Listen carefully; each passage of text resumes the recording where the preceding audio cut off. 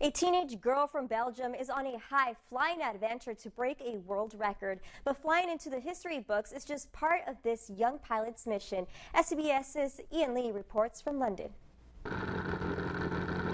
Zara Rutherford's dream is finally taking off. The 19 year old is on her way to becoming the youngest woman to fly around the world solo, and it doesn't stop there. And when you think of a pilot, you don't really think of a woman, you think more of a man. And I'm trying to change that a little bit. Trying, I'm trying to get girls to, you know, be interested in flying and aviation. She left Belgium Wednesday in her light sport plane. You could almost say she was born to do this. My entire family are pilots. My dad is a pilot, my mum is a pilot, even my little brother's a pilot.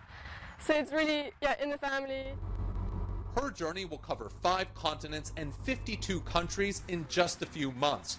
All the while, her nervous but supportive parents will track her progress. Very aware of the risk, but I think she uh, needs to fly away. It's, it's her dream and she needs to live it. For Zara, it's not just about landing in the history books, but leveling the airfield. Hopefully inspire other girls to try and beat my record and then get in, start competing with the boys. To show girls everywhere, the sky is the limit. Ian Lee, CBS News, London.